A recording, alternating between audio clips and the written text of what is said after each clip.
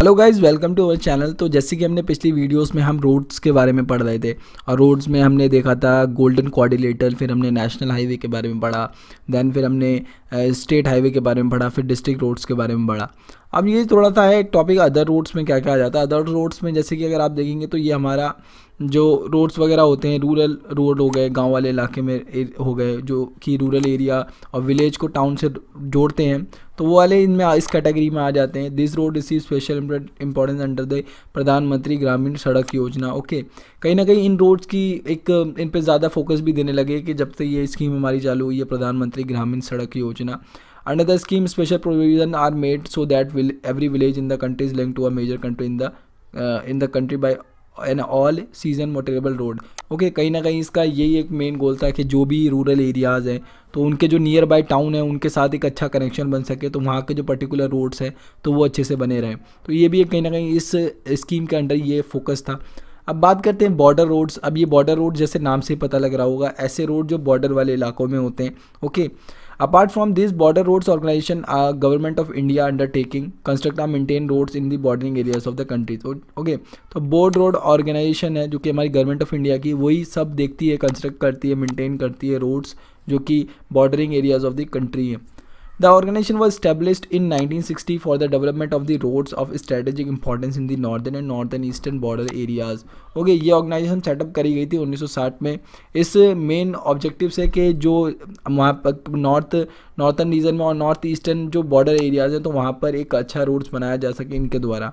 Okay this roads have improved access accessibility in areas of difficult terrain and have help the in help in the economic development of this areas okay generally होता है क्या है, जब किसी भी particular area की बात कर लीजिए, अगर वहाँ पर आपको अगर ट्रांसपोर्ट सिस्टम अच्छा नहीं होगा ना तो वहाँ पर जो डेवलपमेंट भी होता है, वो भी बहुत स्लो होता है। अगर ट्रांसपोर्ट सिस्टम वहाँ किसी पर्टिकुलर एरिया का बढ़िया होता है तो वहाँ पर डेवलपमेंट भी बहुत तेज़ी से होता है। तो यही चीज़ है कि ये जो डिफ़िकल्ट टेरेन वगैरह वाले रीजन में जब ये रोड्स बनाए गए बॉर्डर रोड्स बनाए गए तो इसने कहीं ना कहीं एक हेल्प भी करी इकोनॉमिक डेवलपमेंट करा उस पर्टिकुलर एरियाज़ का। ओके अब बात करते हैं मेटल रोड एक अनमेटल रोड होता है। मेटल रोड को आप कह सकते हैं जो कंक्रीट वगैरह के द्वारा बनाया जाता है, पक्के तरीके से जो बनाया जाता है, उसे हम कहते हैं metal road okay unmetal road ऐसे ही बना दिया जाता है, सिर्फ़ जनरली कुछ दिनों के लिए, फिर वो ख़राब भी हो जाता है जल्दी। ओके अब बात करते हैं रोड डेंसिटी अब रोड डेंसिटी क्या होता है? The length of the length of road per hundred square kilometre of areas is known as a density of road okay per hundred square kilometre पे जो लेंथ होती है किसी पर्टिकुलर एरिया की, उसे हम कहते हैं density of road distribution of road is not uniform in the country अगर आप देखें तो जो डिस्ट्रीब्यूशन हुआ है रोड का, ठीक है रोड किसी पर्टिकुलर एरिया में बनाए गए, वो भी यूनिफॉर्म नहीं है हमारी कंट्री में. कुछ एरिया में अगर आप बात करें, जम्मू एंड कश्मीर वाले रीजन में बात करें तो वहाँ पर आपको all road varies from only ten kilometre okay और यहीं अगर आप बात करें केरला वाले रीजन में तो 375 किलोमीटर तक आपको देखने के लिए मिल जाता है। बट नेशनल एवरेज जो हमारा वो है 75 किलोमीटर। बट ये डाटा जो है वो 1996 और 1997 के ए, और 1997 के अकॉर्डिंग है okay road transportation India faces are number of problems keeping in view the volume of traffic and passenger the road network is inadequate okay तो यहाँ देखें तो जैसे कि हमारा जो रोड ट्रांसपोर्ट है हमारे इंडिया का तो कहीं ना कहीं कुछ प्रॉब्लम्स को फेसिस कर रहा है। ओके ट्रैफ़िक हो गया और पैसेंजर वगैरह की जो होता है, अगर आप देखेंगे रेलवेज़ वगैरह में तो पैसेंजर वगैरह टिकट्स वगैरह भी नहीं लेते, बहुत ऐसे ही। ये ट्रैवल करते हैं। The road network is inadequate और कहीं ना कहीं आप देखें तो रोड जो नेटवर्क का है, जो रोड का, वो भी इन एडुकेट है। अगर आप देखें हाईवेज़ वगैरह बंद तो जाते हैं बट उसमें जो है ना सेफ्टी का भी एक इशू हो जाता है। और फिर, कुछ हाईवेज़ ऐसे हैं, उन्हें रेगुलरली रिपेयर भी नहीं किया जा रहा है। गड्ढे वगैरह भी देखने के लिए मिल जाते हैं।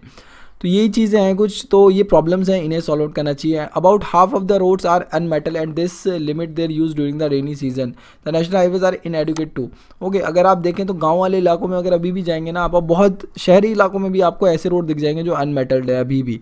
तो होता क्या है रेनी सीज़न में वहाँ पानी भर जाता है और वैसे ही और ख़राब हो जाते हैं रेन की वजह से वो। और नेशनल हाईवेज़ की मैंने आपको प्रॉब्लम बता दी कि यहाँ पर होता क्या है नेशनल हाईवेज़ वगैरह पे कि सेफ्टी इशू भी बन जाता है और बहुत सारी चीज़ें बन जाती हैं और गड्ढे वगैरह भी देखने के लिए मिल जाते हैं। तो नेशनल हाईवेज इतने वेल एफिशिएंट नहीं है अभी। Moreover the road roadways are highly congested in cities and most of the bridge and elevates are old and narrow okay अभी भी अगर आप जाएँगे जो जो ऐसी सिटीज़ है जो बहुत ज़्यादा भीड़ होती है जहाँ पर। ओके तो वहाँ पर जो ब्रिजेस वगैरह बन गए तो बन गए, बहुत ओल्ड है और अभी तक नैरो है। तो एक वहाँ पर कहीं ना कहीं वो डेवलपमेंट नहीं होता दोबारा। रिन्यू होने में बहुत टाइम लग जाता है चीज़ों को। वही चीज़ यहाँ डिस्कस करी गई है। अब बात करते हैं रेलवेज़ की। तो रेलवे क्या है? रेलवे एक हमारा लार्जेस्ट पब्लिक सेक्टर अंडरटेकिंग है जो इंडिया में ओके कहीं ना कहीं पूरा ये कंट्रोल होता है इंडिया के गवर्नमेंट ऑफ़ इंडिया के द्वारा। और integrating force since last 150 years okay कहीं ना कहीं देखें तो ये 150 ईयर्स से हमारा रेलवे जो है एक बहुत बड़ा रोल निभा रहा है ट्रांसपोर्टेशन में इंडिया में। फ़र्स्ट ट्रेन जो हमारी चली थी हमारे इंडिया के अंदर, वो 1853 में मुंबई से थाने की तरफ़, और इसने जो डिस्टेंस कवर करा था वो 34 किलोमीटर का ओके मुंबई से थाने। मुंबई से Thane. The Indian railway is now recognise into seventeen zone okay अब इंडियन रेलवे क्या है? बहुत अब हमारे इंडिया ज़ाहिर सी बात है बहुत बड़ा है। तो इसे क्या करा है? जोन में रेलवे भी फिर बहुत बड़ा नेटवर्क रेलवे का हो गया। तो इस वजह से क्या करा? उन्हें रीऑर्गेनाइज कर दिया। ओके okay, जोन्स में बांट दिया। अब जोन में बांटने से क्या हुआ? जैसे डिफरेंट डिफरेंट जोन्स होते हैं northern railways central railway western railway north eastern railways तो ये इसमें बांट दिया सेवनटीन जोन में ऐसे करके कि ताकि उनका जो एक एडमिनिस्ट्रेटिव हो गया और जो मतलब कि वहाँ पर जो भी इकोनॉमिक एक्टिविटीज़ हैं, वो सही से हो सकें। वही चीज़ यहाँ पर लिखी हुई भी है। The distribution pattern of the railway network in the country has been largely influence by physiography economic and administrative factors okay her particular area में जो है फिजियोग्राफी अलग है इकोनॉमिक अलग है एडमिनिस्ट्रेटिव फैक्टर भी अलग है तो उसी हिसाब से इन्हें डिवाइड कर दिया The northern plains with their vast level land, high population density and rich agriculture resources provide the most favorable condition for their growth. अब देखिए नॉर्दर्न वाले रीजन में आप आएँगे ना, जो गंगा ब्रह्मपुत्रा और गंगा ब्रह्मपुत्रा बेसिन जो आपको देखने के लिए मिल जाता है, वो नॉर्दर्न प्लेन उनके द्वारा बनाया गया है। तो जो हम पहले पढ़ भी चुके हैं तो नॉर्दर्न प्लेन में क्या है, वहाँ पर आपको एक तो वास्ट लेवल लैंड देखने के लिए मिल जाता है और फिर वहाँ पर पॉपुलेशन भी बहुत है पॉपुलेशन डेंसिटी बहुत हाई है और एग्रीकल्चर के लिए भी बहुत रिच है। तो ये सारी कंडीशन रेलवे को कहीं ना कहीं फेवरेबल बनाती हैं इस पर्टिकुलर एरिया में। ओके हाई पॉपुलेशन है तो फिर ज़ाहिर सी बात है, लोगों को ट्रैवल करने के लिए भी रेलवेज़ की ज़रूरत पड़ जाती है, ज़्यादा लोग ट्रैवल करेंगे। और रिच एग्रीकल्चर रिसोर्सेज है, जब मान लो एग्रीकल्चर हो रहा है तो ज़ाहिर सी बात है रॉ मटेरियल बहुत निकल रहा होगा इंडस्ट्रीज़ के लिए तो रॉ मटेरियल भी जाता होगा। तो ये कहीं ना कहीं जो कि है रेलवेज़ यहाँ पर फेवरेबल कंडीशन बन जाती है रेलवे के लिए। बट यही बात करें आप हिली इलाकों में। जैसे कि हिली इलाकों में जाएँगे तो वहाँ पर तो रेलवे को हम नहीं लगा सकते ना।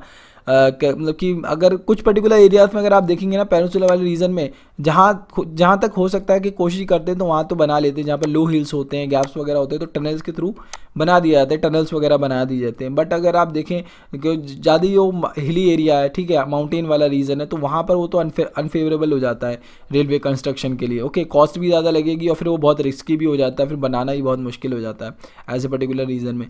तो ऐसे रीजन में फिर रोडवेज़ का इस्तेमाल किया जाता है। ओके एयरवेज़ का इस्तेमाल किया जाता है। रेलवे लाइन्स यहाँ पर लिखा हुआ है वही चीज़ जो मैंने आपको बताई।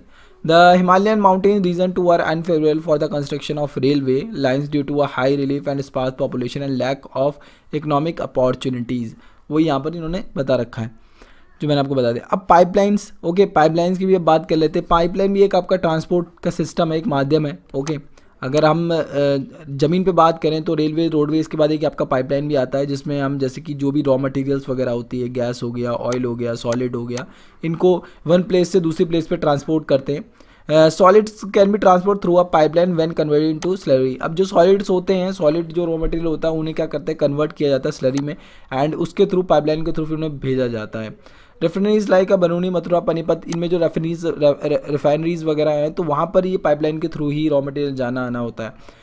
इनिशियल कॉस्ट जो होती है पाइपलाइन सेटअप करने की, वो बहुत ही हाई होती है बट फिर जो रनिंग कॉस्ट होती है, वो बहुत लो हो जाती है। ओके फिर इसमें कुछ फ़ायदे भी है, फिर आपका टाइम भी बच जाता है, फिर लॉस भी नहीं होता है इतना। ओके सीधा पाइपलाइन के थ्रू पहुँच जाता है मटेरियल आपका। तो ये सब चीज़ें किसी चीज़ के कुछ मेरिट्स होते हैं डीमेरिट्स होते हैं, वो यहाँ पर बता दिया गया। There are three important network of pipeline transportation in the countries okay ये आपका थोड़ा इंपॉर्टेंट हो जाता है, ये याद कर रखिएगा। जो हमारे थ्री इंपॉर्टेंट नेटवर्क है हमारी पाइपलाइन ट्रांसपोर्टेशन के हमारी कंट्री में, जैसे कि आप देखिए from oil field in upper Assam to Kanpur okay कान आसाम से लेकर कानपुर तक जो पाइपलाइन सेटअप है, अब ये होकर गुजरती है वाया गुवाहाटी, बरूनी इलाहाबाद से होकर के जाती है। और इसकी एक ब्रांच है, इसकी एक ब्रांच है जो कि बरूनी से हल्दिया की तरफ़ जाती है। और वो भी आपका इस वाले रीजन में होती हुई जाती है, Rajbanda and Mayurgram and Guwahati to Siliguri. ठीक है, ये प्रोनाउंसिएशन प्रोनाउंसिएशन में थोड़ा सा दिक्कत हो रही है तो आप देख लीजिएगा। ओके, अब आप ये, और आपका ये दूसरी पाइपलाइन है जो कि आपकी सेटअप हो रखी है Salaya in Gujarat. To Jalandhar in Punjab. Okay अब ये होके कहाँ कहाँ से आती है? विरमगाम, मथुरा, दिल्ली एंड सोनीपत से होती हुई गुजरती है। अब इसकी भी एक ब्रांच है जो कनेक्ट करती है कोयाली में नियर वडोदरा, गुजरात में और चक्सा एंड अदर प्लेसेस और फिर एक गैस पाइपलाइन है जो आपकी है from from Hazira in Gujarat connects Jagdishpur in UP okay Hazira से गुजरात में कनेक्ट करती है जगदीशपुर को यूपी में। ओके अब ये होकर के कहाँ से जाती है? ये Vijaipur in Madhya Pradesh. And it has branches to Kota in Rajasthan Shahjahanpur and Babrala and other places in Uttar Pradesh इसकी अदर ब्रांचेस जो फैली हुई हैं, वो इन इन स्टेट्स में फैली हुई हैं वही यहाँ पर बताया गया ओके okay गाइज़ आज के लिए इतना ही रखते हैं। अगर आप चैनल पे नए हैं तो मैं आपको बता दूँ, आपको जो उसकी पीडीएफ है, वो नीचे डिस्क्रिप्शन में मिल जाएगी। और अगर आप नए हैं तो प्लीज़ चैनल को सब्सक्राइब करें लाइक करें और जो भी आपकी फीडबैक है, वो दे सकते हैं आपके किस टॉपिक्स पे आपको चाहिए वीडियोस एंड मिलते हैं अगले लेसन में।